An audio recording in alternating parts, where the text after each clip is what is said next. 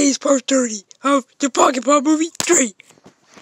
Alright, so today we're going uh, home. If we hop into here, we can officially exit the Secret Gleex portal. Oh! Flowers! Achoo! Oh! Uh, bless you! That was a cough. That was this, Steve. That was a cough. Wait, what? Yeah, of course it was. Aren't all coughs sound like that? Uh, no. Ugh. Ugh. And we've also met a new person. Pug in a lobster outfit. A new party puppy. Hi, everybody. I'm a pug in a lobster outfit. I'm going to make it to where you can visit me anytime. That uh, that way you can still see me, but just you just won't have to go through all the drama that you did. Alright, thank you. Or we can always just take a plane. Yeah. Anyways, let's hop in. Okay. You know what we need is a sacrifice. Wait, what am I doing here again? No, brother. We're going home. Wait, where's our home? You're right. We do need a sacrifice. Huh. Beagle, what are you doing?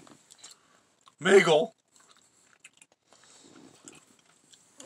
Uh, apparently there's an evil alien that's trying to attack us all. Look, Beagle's being a hero. What? Man, what does that happen? Oh, he went.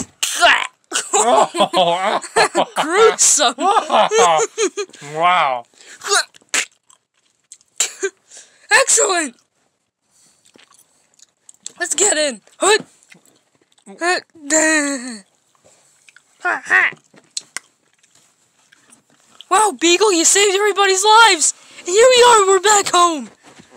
Yeah. All Huh? right.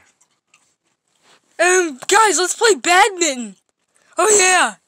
Badminton time. Badminton time. What's that all about? I don't know. I want to play badminton, okay? Well, I'm trying to sleep. Stop that racket. Oh, come on. You know you have better things to do than to sleep and say jokes.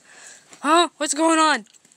You forgot to return your dictionary. You were supposed to return it four days ago. So for your punishment, you will go to jail. okay, wow.